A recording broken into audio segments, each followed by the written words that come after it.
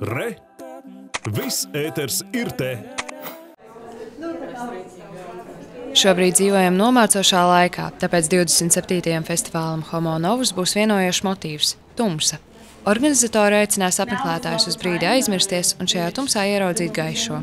We're not shying away from reality. Mēs nemēģinām aizbēgt no realitātes. Mēs vēlamies šajā tumsā būt līdzās, redzēt smagas tēmas, bet tajā pašā laikā pieredzēt citas lietas gaišāk un vienkāršāk. Izvēlētajiem māksliniekiem bija jāatrod temati, kas šobrīd ir aktuāli un parāda, kas notiek pasaulē. Viena no tām ir protesti.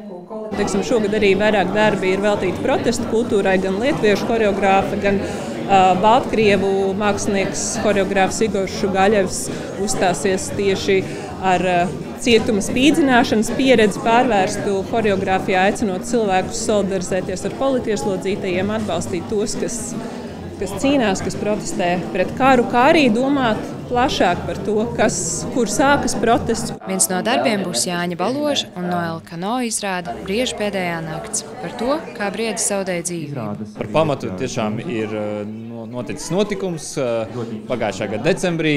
uh, Mēs sniegputenī, sniega vētrā braucām no prāmja Klaipēdā uz, uz Rīgu. Tad lietas, kas uh, patiešām notika, un tad, uh, tad, tad, ir- tad ir lietas, uh, kas, kas notika mūsu galvās. Darbā viņš tā teikt ceļos starp dokumentālitāti vai realitāti un, un, un poetiskiem brīžiem.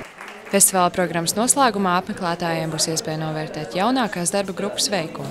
Desmit jaunieši no Latvijas un Norvēģijas kopā ar mentoriem vairāk mēnešu garumā ir strādājuši pie savas programmas. Tas vienojošā tēma - nostalģija. Tas, ko es kūrēju, ir scenogrāfiska telpas instalācija par sapņiem un murgiem. Tā kā sapņi ļoti asociējas ar bērnību, tas nozīmē, ka tā izveidos kaut kādu veidu nostalģiju, un šī scenogrāfiskā instalācija būs veids, kā man vēlreiz piedzīvot savus bērnības sapņus. Tā kā tas ir diezgan arī personīgi man.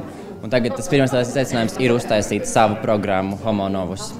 Kas arī ir tas liekas, lielākais izaicinājums, gan pats foršākais, jo es, man, man pašam personīgi ļoti svarīgi redzēt materiālu rezultātu. Man vajag redzēt, ka es kaut ko esmu izdarījis.